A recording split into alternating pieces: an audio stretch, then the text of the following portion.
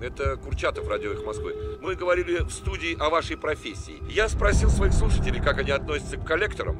Приходилось ли им сталкиваться с людьми вроде вас. Хотите узнать, что мне ответили? Я знаю, что вам ответили.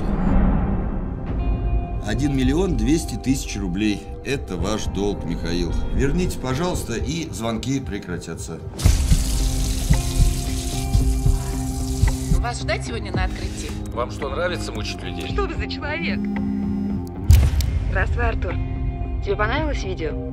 А с кем я разговариваю? Извини, я первый раз это делаю. Делаю что? Наказываю подонка. Артур, это не смешно. Что именно? И твоя выходка, и то, что она попала в интернет.